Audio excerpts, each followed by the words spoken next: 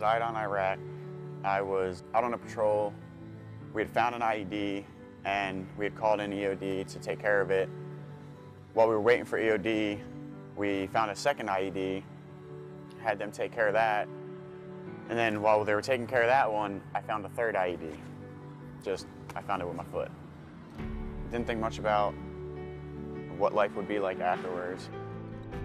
Not being able to do my job, not being able to be a Marine again, that was the hardest part. My 100% now is actually more than it was before. Seeing all the different things I could do, my world opened up. My disabilities don't hold me back from anything.